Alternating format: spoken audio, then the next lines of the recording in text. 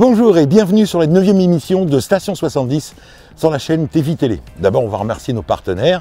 Le tout premier, le Carrefour Market d'Isigny-sur-Mer. Et surtout, merci à Monsieur Barbonchon, maire d'Isigny-sur-Mer. Merci aussi à son conseil municipal de nous recevoir ici aujourd'hui.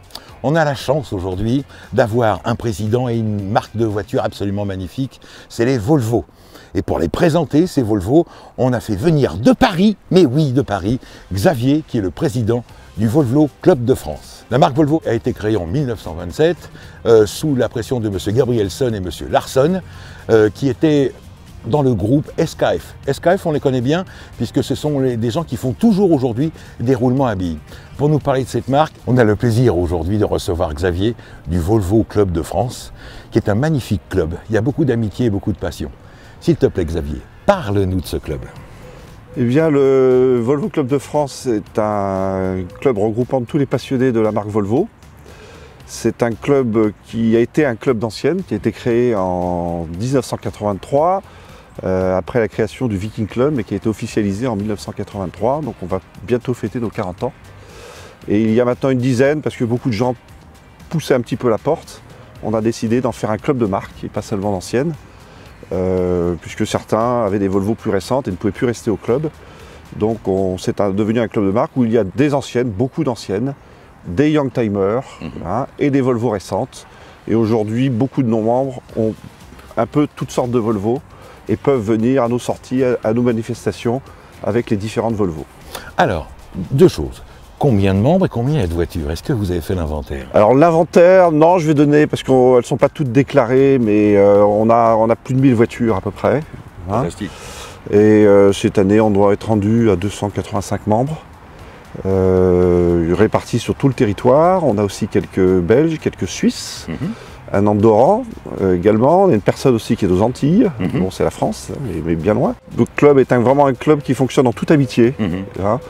Euh, chez nous, on apporte beaucoup d'assistance technique à trouver des voitures, à trouver des modèles, à trouver des pièces, à trouver des solutions, à aider les personnes à restaurer leur voiture, mhm. hein, à entretenir le, patrimoine de la marque. Mhm. Hein. Et euh, tout ça, je dirais, assez proche du constructeur euh, Volvo, qui nous a reconnus il y a bien longtemps ah. en, Suède. On est un club officiellement reconnu par la marque et on entretient toujours avec Volvo Car France de de, très bonnes relations qui nous, qui nous apportent régulièrement du, soutien pour, pour, les salons type Rétromobile, euh, Époque Auto à Lyon. Euh, on a fait Rouen à une époque, euh, on est assez présent dans les, dans les salons d'anciennes. D'accord, d'accord. On va passer maintenant de voiture en voiture avec les propriétaires ou avec le président.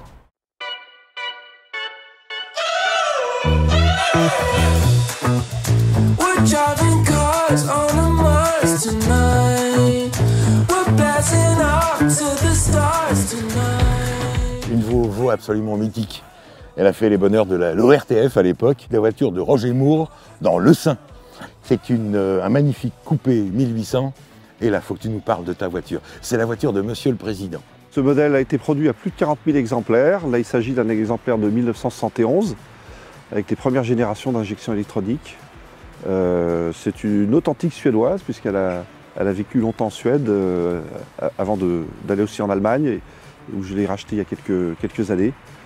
Elle marche très bien, c'est une voiture euh, assez fabuleuse, euh, qui est puissante. Plus de 330 000 km, j'ai tout l'historique de la, de, la, voiture, qui a été très régulièrement entretenue, donc qui, tourne comme une horloge, et c'est un immense plaisir de rouler avec. 330 000 km, voilà, c'est carrément l'image de marque de Volvo. On a des voitures aujourd'hui, 500 000, 600 000 km sans aucun problème. La robustesse, c'est vraiment euh, la marque, le cœur de marque, c'est vraiment l'ADN euh, des Volvo.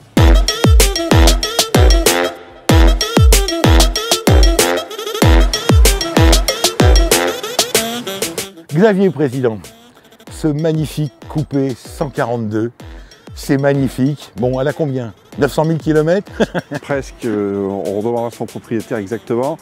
C'est un bel exemplaire d'une 142 euh, qui a été un peu améliorée en, termes de motorisation. Bon, la 142, c'est l'antichambre de la fameuse 240 qu'on verra tout à l'heure. Euh, elles ont été produites de 67 à 74. Mhm. Il s'agit d'un modèle de 1973 en, excellent état et plutôt, plutôt très performante.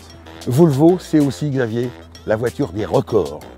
Bien sûr, on va parler tout à l'heure de la sécurité, parce que ça a été quand même là aussi dans les gènes même de, la marque Volvo. Mais là, il y a un record absolument fabuleux avec cette automobile. C'est combien de kilomètres? Plus de 5 millions de kilomètres. Ça a été fait par euh, Irv Gordon, un Américain.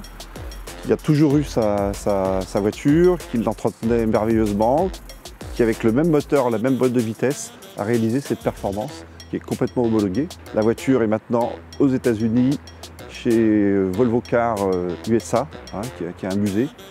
La voiture est là-bas et c'est un record vraiment euh, complètement inédit. Euh, c'est fabuleux. Tout est dit, 5 millions de kilomètres.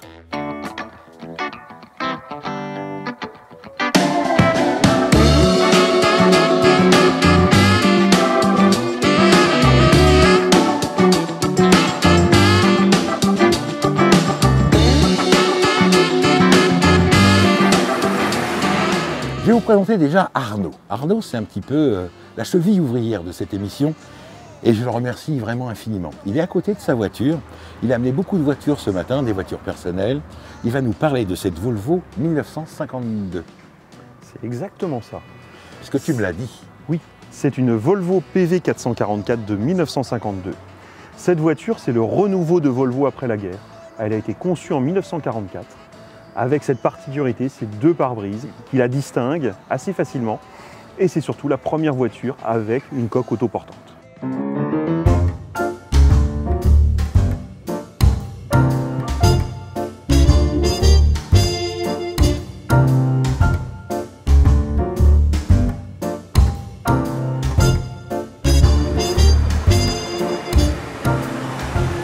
Volvo a fait appel à un designer, Berton, pour faire ce magnifique coupé. Parle-nous de cette voiture qui a un intérieur absolument fabuleux. Alors, c'est une Volvo 262C coupée Berton. Cette voiture est fabriquée en Suède, envoyée en Italie, modifiée chez Berton pour avoir ce toit rabaissé et cet intérieur exclusif. C'est une vraie voiture très haut de gamme pour l'époque.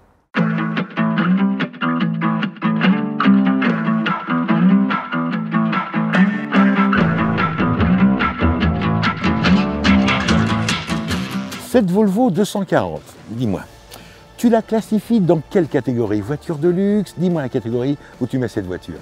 Pas vraiment une voiture de luxe, même si elle a la clim, la boîte automatique, c'est plutôt une grande routière, rationnelle, efficace, confortable. C'est une voiture pour avaler des kilomètres. Alors Arnaud, cette voiture, elle a euh, deux choses.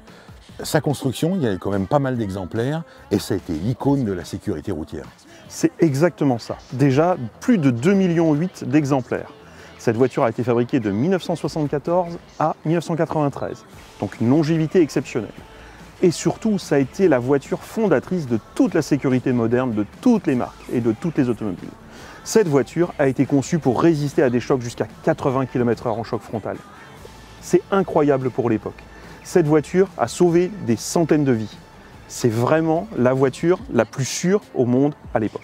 On est d'accord que Volvo, au niveau sécurité, c'est la référence. C'est véritablement la référence.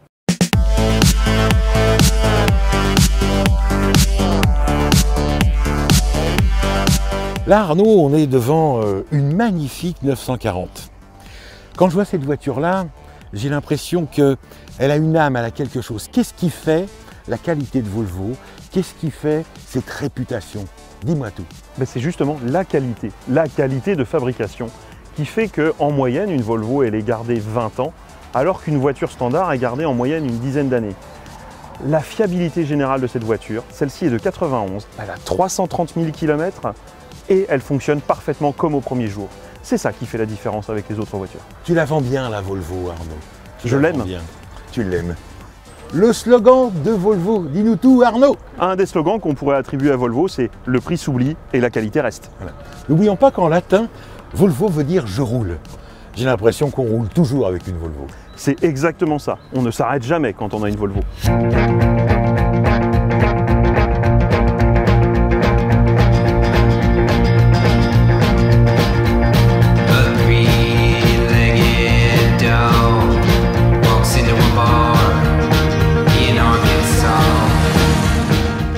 Volvo, il y a des familles. Et celle-ci, c'est la famille des Amazones.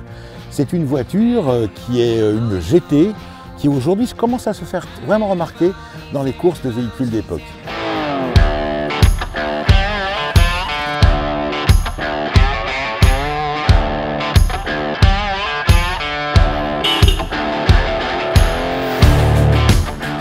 Volvo a quand même transformé ses voitures et pour transformer ses voitures, il a affaire à un partenaire, partenaire principal, qui a par exemple fait les limousines. Merci à Jackie d'être venu avec sa magnifique limousine. Parle-nous de ce partenaire. Il s'agit de la société Nilsson, suédoise également. Et Nilsson donc, euh, a toujours procédé à la réalisation des limousines, euh, des ambulances, des corbillards, euh, toutes sortes de véhicules à caractère un peu utilitaire, ce que Volvo ne fait pas du tout. Volvo n'est pas du tout dans l'utilitaire. Et il a donc ce partenaire suédois pour toutes ces voitures un peu particulières.